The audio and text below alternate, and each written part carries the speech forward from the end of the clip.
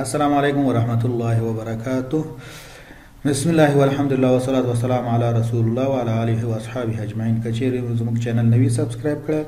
مهرباني وکړئ سبسکرایب کړئ او د بیل آیکون کلیک کړئ ترڅو تاسو د نوي ویډیوګانو د پورته کول څخه باخبره اوسئ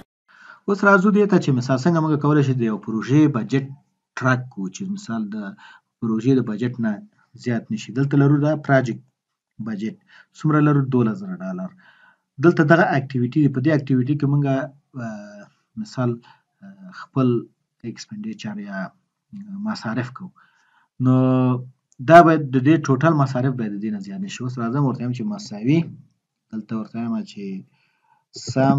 دا جمع کوم چې دغه ټوټل تاسو ته وښایي چې مس چې آیا همدغه ښي ویلو دی که نه په دې شکل سره اوس دلته زه فورمولا جنریټ کوم د دې لپاره چې ډیټا ویلیډیشن کسټم ډیټا ویلیډیشن کې واچوم ورته مساوي سم په دې شکل سره دا تردید پر بلا کوم ورته چې اف اف 4 په کیبورډ کې اف 4 کلیک کوم چې دا ابسولوټ ډول په دې شکل سره ورته یم چې لیس دین او ایکوال ټو د کوم یو سره د دې بجټ سره یعنی دینه کم یا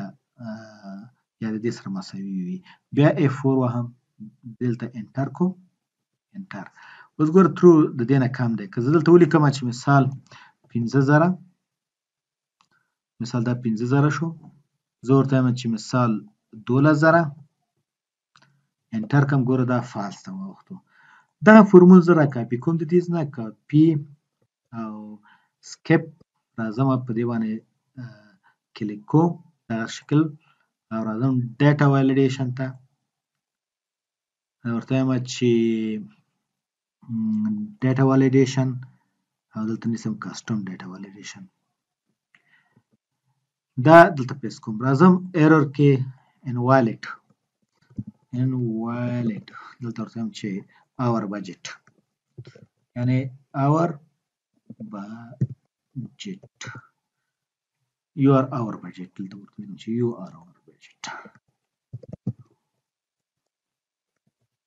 اور بجې اوکې که زه دلته راشم اوس مثال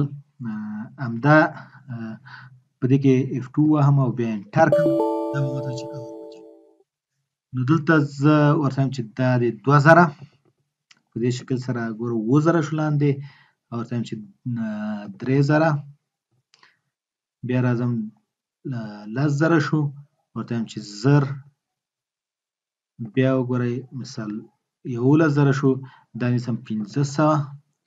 بیا یولس نیم زره او دا بیا پنځه سوه نیسم نو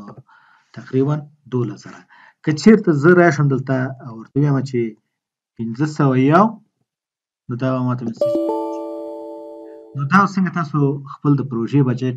ټراک کوي تاسو کولای شئ د نورو کارونو لپاره هم وکاروئ که مو دا ویډیو خوښه وي نو لایک یې کړئ خپل وړاندیز د کمنټس په برخه کې زموږ سره شریک کړئ دا ویډیو د خپل ملګرو سره هم شریک کړئ چې ترڅو هغوی هم د دې ویډیو څخه ګټه پورته کړي